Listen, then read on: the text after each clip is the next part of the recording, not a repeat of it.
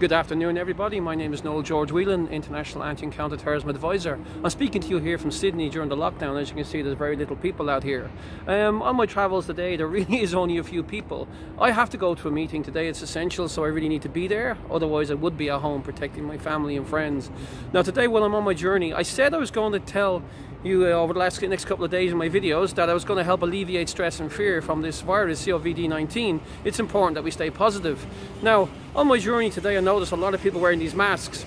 Now here's the problem with these masks. People expect to get protection from these masks, these doctor's masks, but when these doctor's masks were invented, it was usually designed so a doctor can put this on his face and he can protect himself and protect the patient from germs coming from the doctor into the wounds of the patient they're treating. However, like any soldier, like I was in my younger career, and other soldiers and police officers have been gassed many times, the important thing about wearing protection from gas and other uh, viruses is a good seal on the mask. Now, the problem with this mask is I'm seeing thousands of people wearing these masks. If we put the mask on here, we can see that the mask, unfortunately, we have vents at the side. When we have vents at the side, we're not actually getting protection from that because vapors can get in the side. So this type of mask is not particularly good. As I said, it's only good if you had a virus and you want to stop it from spreading.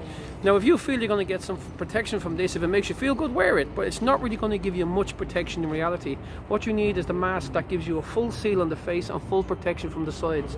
Again, this type of mask is not very good because, as I said again, when you put it on, just to demonstrate one more time, we can put it here, but we have no proper seal and we have no proper seal on the sides here. So we can actually have, as you can see here, bacteria get in and other uh, dangerous uh, viruses. So it's important that we go out, we pretend, or oh, sorry, we go out prepared, we go out prepare, prepared for where we're going to go, what we're going to do, and thinking ahead. So remember, this mask is not very good. Get yourself a proper mask with a proper face uh, protection and get a good seal on it. Thank you very much, and hello from Sydney during the lockdown to everyone around the world. Thank you.